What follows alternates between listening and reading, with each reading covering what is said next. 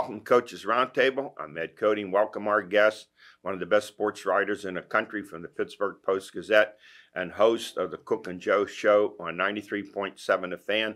Welcome, Ron Cook. Ron, nice to have you on. Ed, it's always a pleasure to join you, my friend. I hate to start off with the negative, but uh, Ron, that hockey loss last night from the Pens to a terrible Chicago team.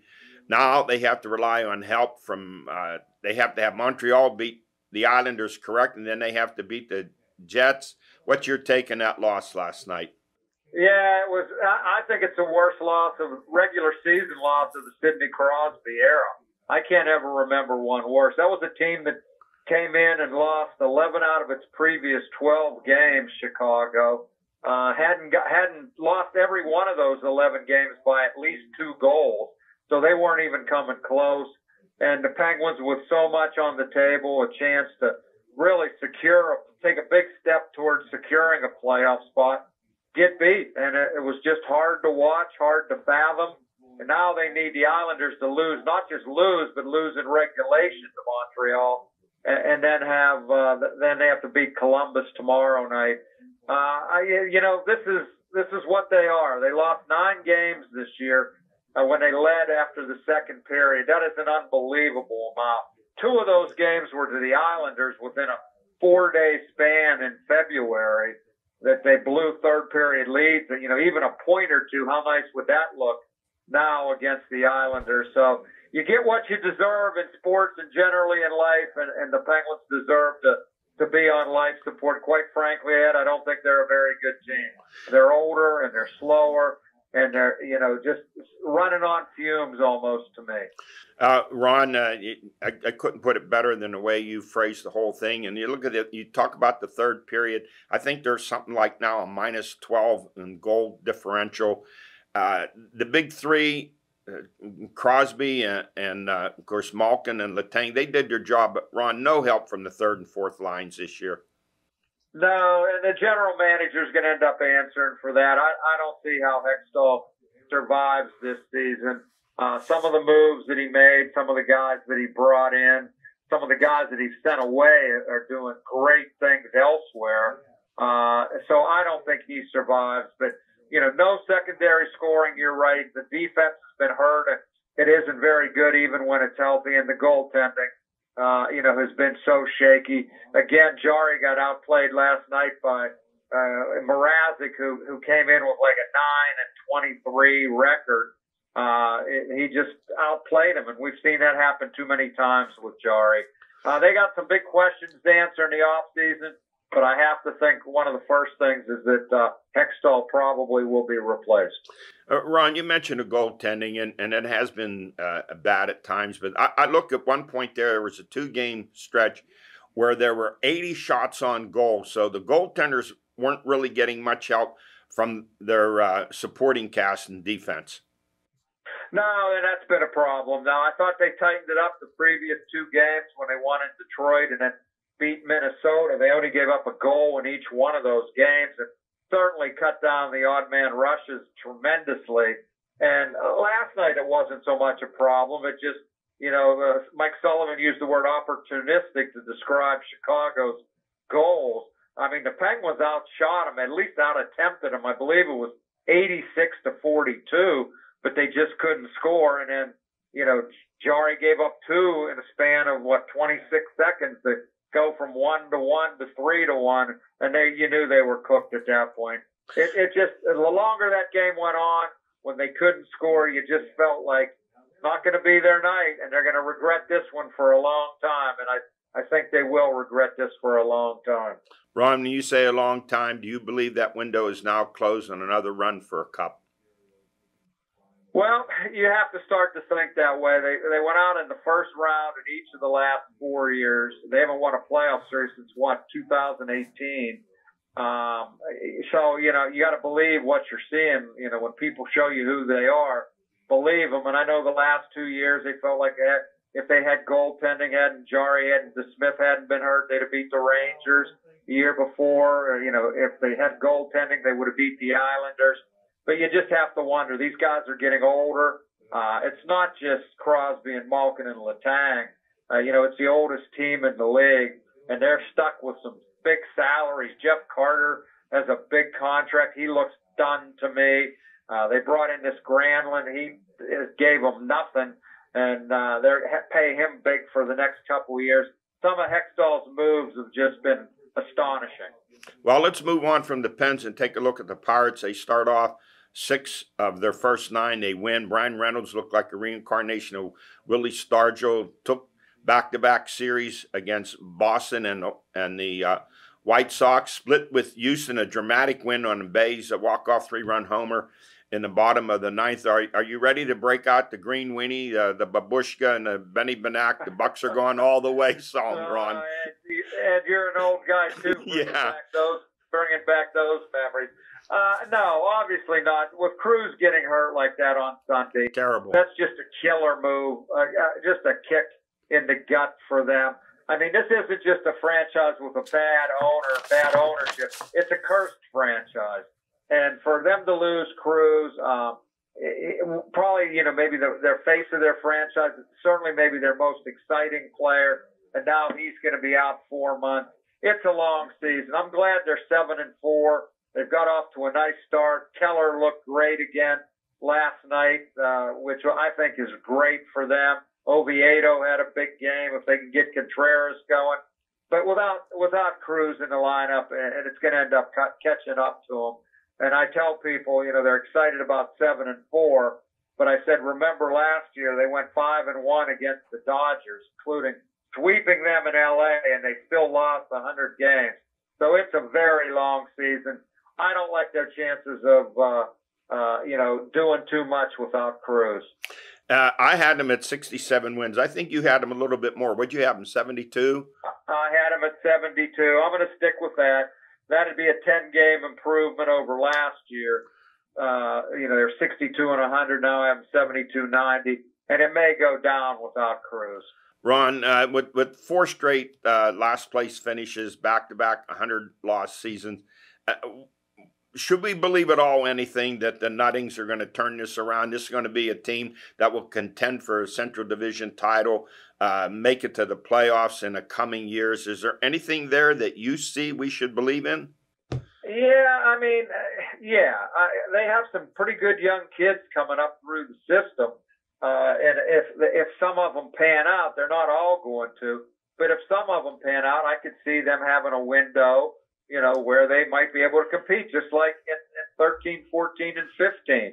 You know, when the McCutcheons and Neil Walkers and those guys all came up. Now they were able to add guys like AJ Burnett and Russell Martin, and I don't know what what Nutting's going to do with that uh, this year when the time is right. They keep saying they'll spend payroll when the time is right, but it always seems like the time is never right.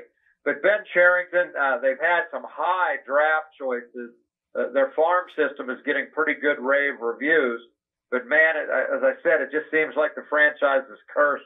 And with Cruz going down like that, my goodness, you just hated to see it. Hey, Ron, finally, I, I, I, I gagged to use the word fair and Nuttings in the same sentence, but have they offered Bryan Reynolds what you consider to be a fair contract? Uh, yeah, I mean, uh, I, I do, uh, you know, but it's backloaded and Reynolds wants out of it. So, I mean, I understand he has everything to gain and they, and, and if he plays really well and he wants out after four years and they give it to him, he'll sell himself to the highest bidder. And if he gets hurt or he happens to underachieve, he'll still have those next four years guaranteed for like 107 million you know, maybe give him an opt out after the fifth year instead of the fourth year, or maybe pay him a little more in those first four years as opposed to backloading it. It's a tough situation. I, I, I mean, I understand why the Pirates don't want to give him the opt out. Uh, you know, people say pay him, pay him, pay him, but you know, it is a business too. You don't, you don't want to pay him and then have him leave you after four years. So, uh, I, it looks like a stalemate to me. I'm starting to think it's not going to get done but maybe they'll be able to find some common ground. Hey, Ron, always great talking with you. And before we know it, I'll, I'll be seeing you at Acrisure Stadium at a Pitt football game. It's right around the corner. All right, Ed. Look forward to it. Always uh, appreciate you having me. Take care. Thanks, Ron. I'll be right back with Alan George. Armstrong has been a part of Butler County since 1963. we helped you get online with Zoom Internet. Our Breaking Bread program began fighting hunger in our communities. Enhanced Wi Fi delivered coverage, security, and control of your network. Zoom Extreme brought internet speeds up to 1 gig to the community. And in 2022, Armstrong was named Cablefax Independent Operator of the Year for the second time. When you support Armstrong, you're supporting your local community. I am back, joined to my right by the Swami George Abraham, to my left the Tiger Albert Campman. Guys, boy, spring sports are really heating up. Let's go to uh, Spotlight girls high school track, multiple event winners and record winners. Ali Pry of Moniteau, 100 meters, 300 meter hurdles she won, and she was a member of the 400 meter relay winning team. Megan Bajetta of Butler, Butler County uh, Track and Field Classic at Freeport. She had a meet record in a triple jump of 38.7. Her best is 38.11 and a half. That places her in the top 25 in the country. Claire Real of Seneca Valley, Grace Lazara of North Catholic, Madison McGarrett of Butler, and Abby Nichols of Grove City. They were all two event winners at the Classic in Freeport. Sophia Benetto of Karn City in the dual meet, she won the 800, the 1600, and the 3200. And in boys track, Levi Prementine, Slippery Rock High School, won three events at the Butler County Track and Field Classic at Freeport, the 110 hurdles, the 300 hurdles, and the high jump. He's one of the best all-around athletes in the county this year. I remember seeing a, Every sport. a highlight on Twitter, him throwing one down, and I thought, okay, Yeah. got my attention. Uh, Landon Lacey of Butler, he won the 400 relay and the 1600 relay winning team member, and he also won the 400 high school softball. How about this pitcher? Seneca Valley sophomore pitcher Lexi Hams. She struck out 17 North Allegheny hitters in a two to nothing one hit shutout win for the Raiders, who are five and zero. In her last four games, she's given up one run and struck out 73. And NA pitcher Sammy Plotsko, she's going to win most of the games. She only gave up two runs and four hits in seven innings, and she was a loser. Yeah, it's hard to lose when you don't get any runs up. Oh, this girl, this girl, she's just a sophomore. They- They're going to be knocking down the doors of recruiters Yes. on Yeah, her. it looks like it. Uh, Gracie Hench of Knoch, she had three hits.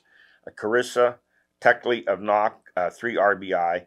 Uh, Maddie Wolf of Butler, three RBI. Gracie Negley of Butler, uh, she had four runs, four hits, excuse me, uh, a triple, two RBIs.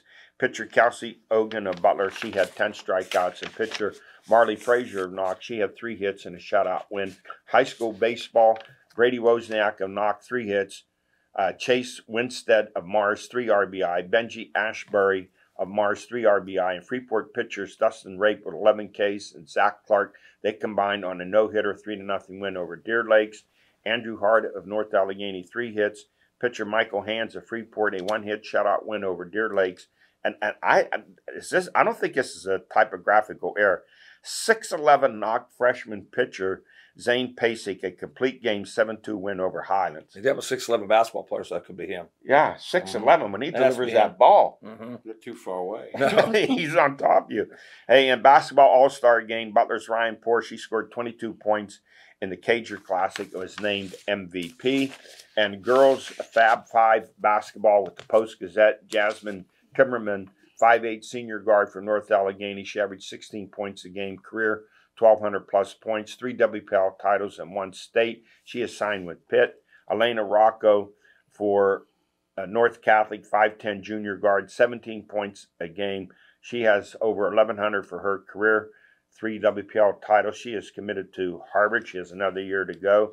PG all class teams, Fab 5, 6A boys, Jonathan Anderson of New Castle, Isaiah Bruce of New Castle, Braylon Littlejohn of Butler, and 5A Tasso Stefanos of Mars. and 3A, Joseph Roth of Ellwood City, the junior. And in girls 6A, Jasmine Timerson of North Allegheny, and Madison Sabaski, Pine Richland. And in 5A, Megan Murray of Hampton, 4A, Elena Rocco of North Catholic. In boys lacrosse, Kyle McEwen of Mars. He had five goals in an 18 to nothing win over Freeport. Mars, another powerhouse. They are 10 and 0 on the season. Every year. Let's go to stories of the week. Well, I hate to start off with a negative, but the Pens, they had their backs to the wall. I think that wall has fallen on their backs. Disappointing loss to a terrible Chicago team, five to two. Now they have to beat Columbus at Columbus and they have to hope that Montreal beats the Islanders, but they have to beat them in regulation. If it goes to overtime, the Islanders are in, the Panthers are in, and the Pens' 18 year streak of the playoffs is over. Yeah, it's over. They're, they they had a chance last night. There's, those things are not happening No again. excuse, right, to lose at Yeah, home? it's lost. The Chicago Blackhawks are not a good and and and, and lost. I I'm mean, telling you, I'm at the barber shop. Guy says to me, he says, I was going to bet the Penguins tonight. He said, but you only win two dollars for ten. That's the odds are five to one. The odds are amazing. Uh, it's game. it's it's incredible, man. Yeah. It's such a, a a disappointing loss, and that, I think that window is now closed on the National Hockey League's oldest team. You have their big three: uh, Crosby, Malkin, and Letang. They're all in their mid thirties or older. They've done their part, but the third and fourth lines have been terrible. No contributions at all from those lines. yeah, they're they should be looked at and, and pointed to. There's no question about it. Falls on the GM, doesn't it? Yeah, well, it falls on GM and the, and the players. They they sure didn't step Right. up and do. They did zero all year. Uh, you know, all, all you want to do is is take the off, put the the puck in the offensive zone, keep it down there, wear the other team down. They do nothing like that for us. And and I know the goalies, uh, uh, Jarry and Casey DeSmith, took a lot of criticism, a lot of it deserved, but they didn't get much help and support defensively. Remember, I mentioned that two game stretch where there were 80 shots on goals. What goalie's going to? Yeah, some of them are going to get in. I Some mean, of them are going to get in Yeah. at that point, right? Uh, when they were in their heyday last night, for example, that game, they win that game seven five. See, that's why the goal. They, they never talked about the goalies before because they would get four goals up and still win. yeah. Now they don't score. So if, if they if the goalie gives up three or four goals, they're going down the two. How many years without a playoff win? Four straight years Mhm. without without a loss in the first round. Okay, then they they got to. I mean, they'll break the team up. I mean, It, it, it's time, and they're, they're going to keep those guys. They got guys with big contracts who did absolutely little or nothing this year, and they're stuck with That's a killer. contracts. yeah, That's a killer. I, that's problem. Hey, Sidney Crosby, he's uh, his fifteen hundredth uh, point in a five one win over Detroit. He's just two hundred twenty three behind uh, team leader Mario Lemieux. Five hundred fifty goals, nine hundred fifty assists, uh, most of any active National Hockey League player. Malkin is fourth with twelve hundred and twenty seven. And around the National Hockey League, how about Connor David? One hundred and fifty points over this season, the most since Mario Lemieux's one hundred and sixty one in 95 96. And that tells you how great Lemieux was. and I put on I put it last year. I said he's the third best player I've ever seen, ever. Oh, yeah. Oh yeah, I, I, I saw Gretzky's the best. Lemieux's behind, and McDavid, that's McDavid. I mean, he just Phenomenal. he dominates the game. I mean, dominates His the speed game. is, is and his size and his ability. amazing. Yeah, he's unbelievable. All right, let's go to Major League Baseball. Albert, are you ready to get out the green weenie and your babushka and the Benny Benack? The Bucs are going all the way musing. The Pirates seven and four win uh, their first six of their first nine, and then split here with Houston and win in a dramatic fashion on base walk off three run home run. Reynolds just tremendous five home runs in the first what seven games, thirteen RBIs, nothing done like that since Willie Stargell played for the Pirates. But on a sad note, Oneil Cruz fractured left ankle, and- and I didn't see the slide. They said it was a bad fibula, slide. It's not ankle. it's Did he- Real bad slide. Yeah, Late. yeah, they said ankle in the paper. Yeah, they were way wrong. Yeah. Um, way late on the slide. It looked like he got caught between Did he whether to stick? slide or go under, and it went bad. It, wa- it, it looked bad. He slid too late. yeah, Uh-huh. yeah.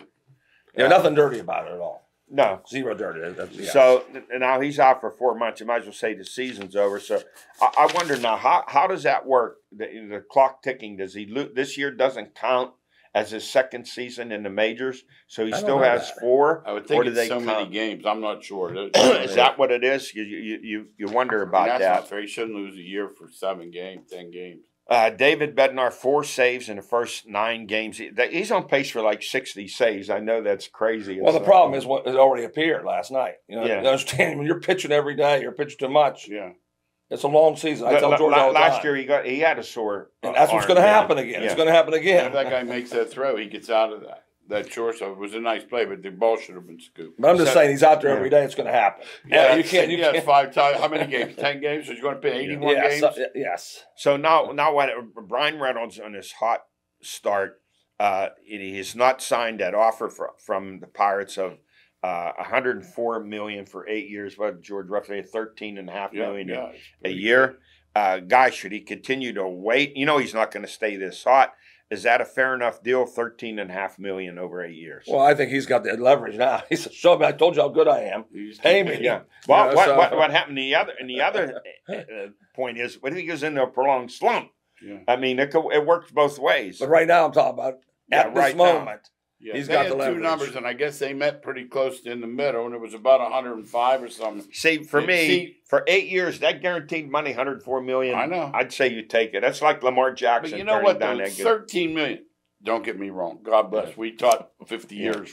Yeah. But in today's Major League Baseball, 13 million is not what those guys are He making. wants out. He I- wants to I- be able to get out of it. well, that's I- all. That's, that's, I- if they if they let him say after three years you can go wherever you want to go, he'll sign. But that, he he wants to be able to do that. He knows because he knows the Yankees will give Yeah. him thirty million. Yeah, No, no, that- Yes. that's right. I, I- and I said this to Ron Cook. I want to gag on using fair and the Nuttings in the same Yeah. sentence, but Yeah. I think they've offered him a relatively fair contract. for the Pirates. For the. Pirates, yeah, no, them. that has to be said yeah, because I just saw San Diego take on a billion dollars in debt. oh, it's just crazy. And, and, and, uh, Albert, I agree with you. And you say there needs to be a floor for Major League Baseball, and there isn't one. And as long as it's like that, Yeah. you see all these players are going to be great for the. Now Bednar, he continues like, yes, you know they're going to He's the. Yankees. They're Yeah, going to come gone. knocking at the door. Yankees are just gone. you know waiting. what, too, though? If you have the floor, gonna have to have a hard cap. Yes, You know, the, but and they, the- No. powerful owners won't do no, it. no, They don't. The Mets don't Why care. would the Mets or San Diego want a hard cap? Three hundred seventy million dollar. yeah, against contract. thirty. Hey, a baseball nostalgia. A, a PG article by Gene Collier on baseball passings, how it lessens the game. All the stars that have passed away. Mentioning this season, uh, Tim McCarver, Gaylord Perry, Nate Colbert, Frank Thomas, Sal Bando, and Joe uh, Pepitone. And mentioned that on uh, April the 7th, it was the 50th anniversary of Roberto Clemente being presented with his 12th gold glove posthumously before 50,000 fans at Three Rivers, accepted by his wife Vera Clemente. And then pointedly points out old timers games and one where Yogi Berra is standing on, uh, they had the national anthem, standing along the baseline, and a giant scoreboard listing the recently deceased, deceased major league players, to which Yogi Berra said, Boy, I hope someday I don't read my name up there. he always had famous lines. he always had, You know but what? it's true how many great players He, pass he was, away he each was quite a guy, though. There was a story that one of his former teammates got Alzheimer's, was in assisted living. He would drive there every day and sit with him till the guy fell asleep and he'd leave. That's awesome. Yeah. Yeah, he was a, and there aren't many guys, you know, that old one name thing, Yogi. Mhm. And 50 years after he played, it was still like that. He quit Yes. playing in the 70s, right? Mhm. 60s? You know, Casey Stengel always said he was his number one best clutch hitter He always was. and a bad ball hitter. He hit a Yeah. he hit a ball up his eyes. He hit it Four or off five his, MVPs, the- right? Uh-huh. yeah, Okay. tre- just tremendous. Yeah, And wait, catch, left field, I know. first base, Oh, yeah. play everywhere. Yeah. That's how good he was. Yeah. Uh, only like 5'8", 5'9", I know he wasn't a 180 80 man, pounds. no. Well, he wouldn't play today. They, they would Yeah, say we give him can't a play. chance. He's, No, he's not big enough. He, I, he'd No, I'm-. I'm- good no, no, no, I wouldn't. give, give him a they chance. won't give him a chance. Yeah, I, I would. Anybody Hey. five eight or five nine who can't run, they will not even think about looking Yeah. at you. Hey, hey, the thing about the Pirates for the long run, uh, you know, Keller's doing just fine, but the starting pitching is is isn't enough for them. That's where they have to they have to make a deal to get a starting, some starting pitching. No Yeah, question. Will they? I don't know that. Yeah. Hey, the NFL uh, two weeks away from the second biggest event in the NFL season, the overrated NFL draft. People pass up their their anniversaries, Well, their their their their daughter's birthday party to dress up in war paint and go to these ev- events. coming up Uh, the board. How about oh that? They haven't played in four months, and some dude is coming up. I watched that dude play at Penn State. Yeah. He ain't coming up in. How, how many board. times you see the the the uh, Jets fans? They're all excited. We've gone for twenty years. They've been excited, and Yeah. nothing's happened. No, absolutely. The Ravens signed 30 year old Odell Beckham Jr. one year between 15 to 18 million dollars. Good move for the Ravens, desperate for a It's receiver. good for the Steelers because he can't play anymore. yeah. No. I'm- now I'm- let me ask you: Is that a harbinger of the fact he must think his buddy's going to sign? That's the not? plan. That's the plan. that the yeah, plan? yeah, Yeah, that's the Lamar's plan. gonna sign. They said yeah. they were out Yeah. together. The That's other the plan. night.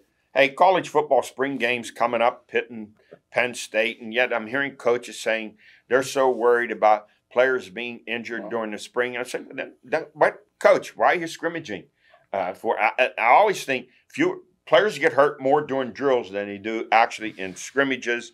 And now some coaches, the new Auburn coach, he wants to have local spring games like an FBS team Yes. with a local FCS team, Yeah. which means Pitt would scrimmage Duquesne, Penn State might go Villanova. Villanova or Bucknell Yeah, sure, or someone like that. What do you guys think about that? Good idea? It'd be great if when, uh, uh, when two Pitt players go down against Duquesne.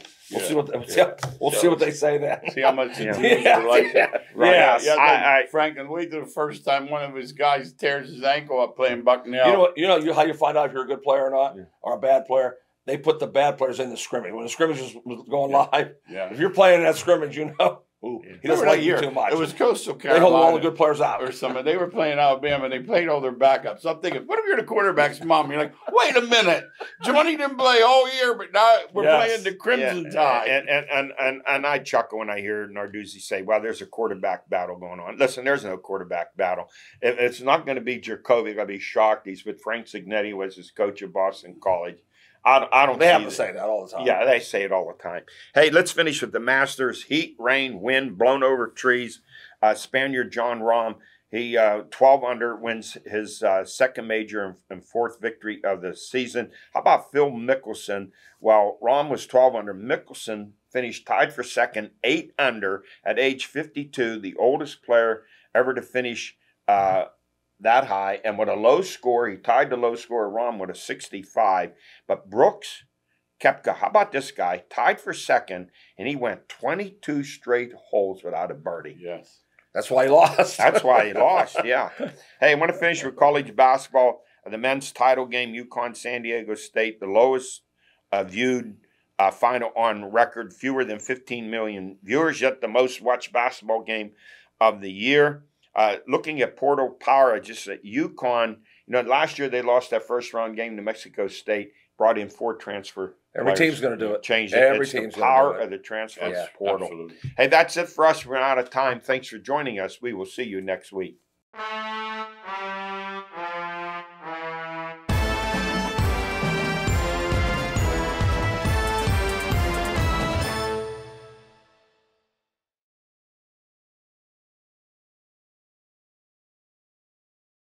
How do you choose the smart home and security system that's right for your family?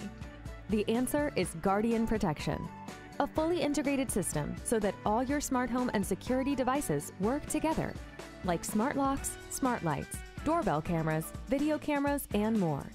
And with advanced artificial intelligence technology, Guardian Protection creates a smarter, safer home for you, all controlled from one single app.